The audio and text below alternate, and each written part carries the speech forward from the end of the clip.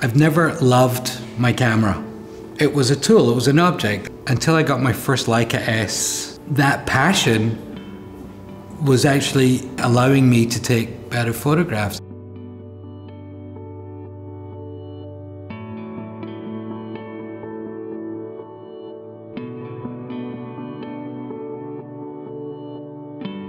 I'm Mark Mann and I'm a photographer based in New York City. I shoot advertising, I shoot editorial.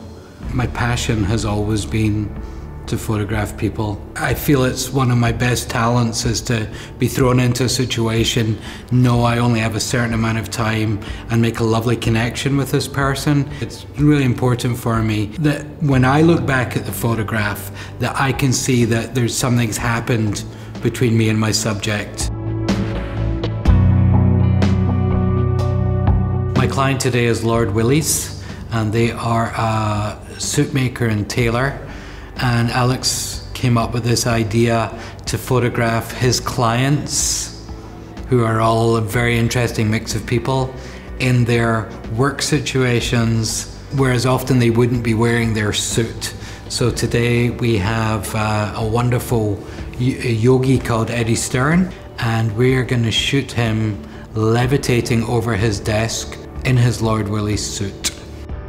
There's very few situations that I can go into for any of my commissions that the S won't handle. Now with the CMOS chip and the low light capabilities, you know, shooting 1600 ISO, fine. Three and a half frames per second, no problem. You need to shoot something fast, you can do it. And that's really made this an all-round workhorse.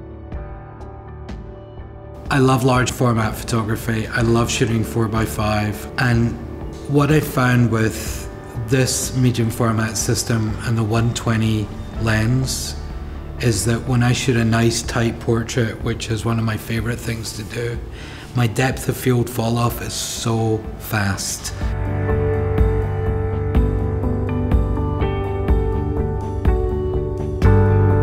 Ergonomically, this camera feels brilliant in your hand. 35 millimeter handling, but solid and everything's kind of where you want it to be. Also, it's a huge viewfinder that really lets you frame a shot nicely. I'm not a deeply technical photographer in any manner of speaking. Uh, I go a lot with my gut and how it looks.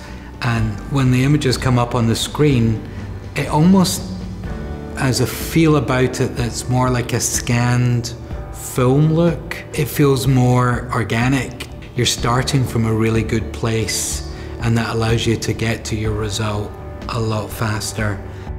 I really regret not shooting with Leica cameras earlier because the quality of the images have got better since I started using the S system.